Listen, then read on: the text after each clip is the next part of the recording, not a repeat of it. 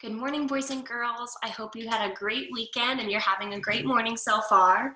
Let's go ahead and get out our morning meeting paper. So what do we do at the top of our paper? We always write our name. Let's write our name.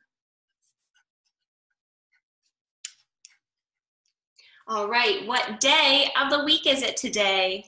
Today it is Monday. Let's write Monday.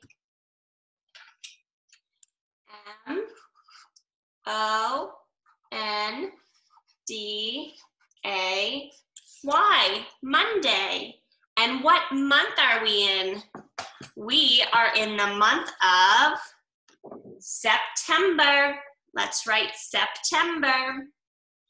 S E P T E M B E R, September. And what is today's date? Let's look at our calendar. Today is the 28th.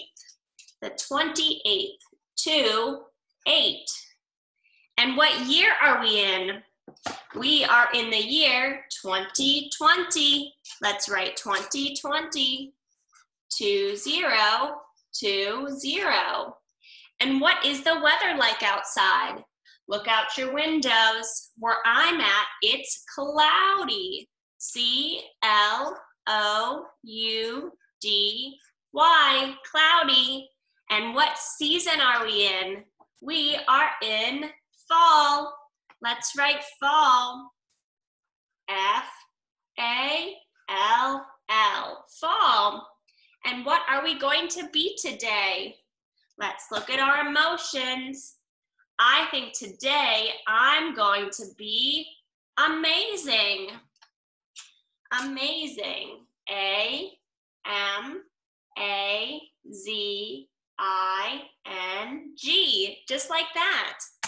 And what do we say to finish off our morning meeting?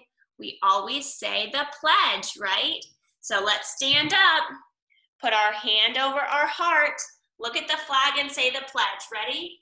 I pledge allegiance to the flag of the United States of America and to the republic for which it stands, one nation, under God, indivisible, with liberty and justice for all.